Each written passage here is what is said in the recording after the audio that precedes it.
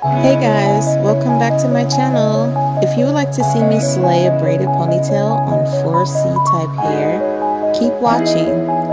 If you like this video, don't forget to hit that like button, turn on all notifications, and press subscribe. Enjoy!